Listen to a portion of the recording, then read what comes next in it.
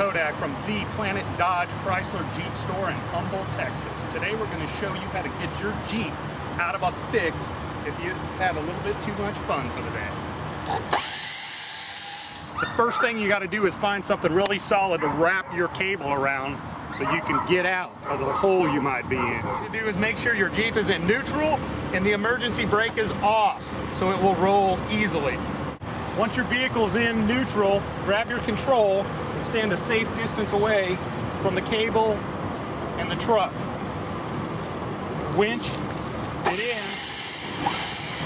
Whatever hole you're in, however bad your day might be, all is saved.